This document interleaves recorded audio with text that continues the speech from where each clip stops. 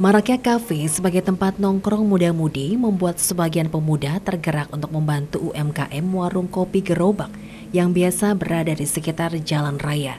Di Kecamatan Ciawi Gebang Kuningan, pemuda mendirikan komunitas peduli Warkoger atau warung kopi gerobak untuk melestarikan dan meramaikan tempat ngopi murah meriah ini. Komunitas yang digagas Yayan Mardiana dan Lia Yulianengsi ini aktif mendatangi warung kopi gerobak Diungkapkan keduanya, sejauh ini dukungan warga mulai bermunculan, terutama dari kalangan penikmat kopi. Di antara warga bahkan rela menyumbangkan ratusan gelas untuk dibagikan ke UMKM tersebut.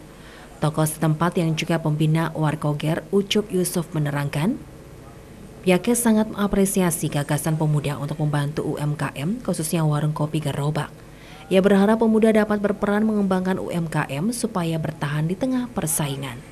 Lebih dari itu, komunitas Warkoger berharap ada produsen kopi kemasan berbahan kopi khas Gunung Cermai dalam bentuk saset, supaya kopi Cermai tak hanya bisa dinikmati di kafe, tetapi bisa dinikmati di warung kopi gerobak, tentunya dengan harga yang sangat terjangkau.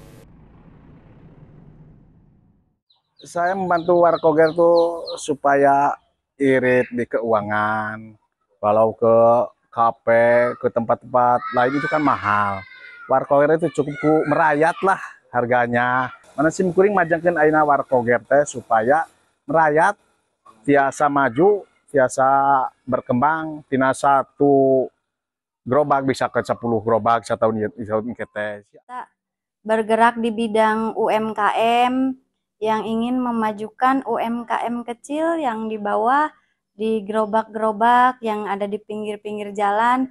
Eh, di Warkoger itu kan terkenal dengan kopi sasetan yang udah ada merek.